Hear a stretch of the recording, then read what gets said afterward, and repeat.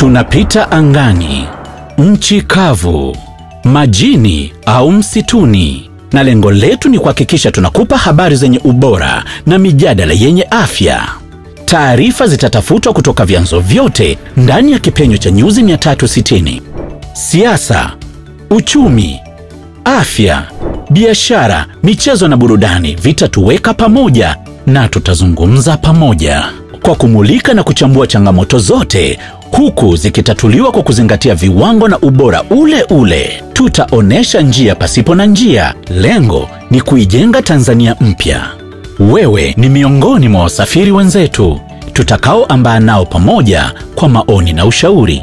Tunakusihi kuungana nasi kwenye Tuongee Asubuhi iliyosheheni mambo kibao kila siku za Jumatatu hadi Jumamosi kuanzia saa moja kamili hadi saa tatu na nusu asubuhi.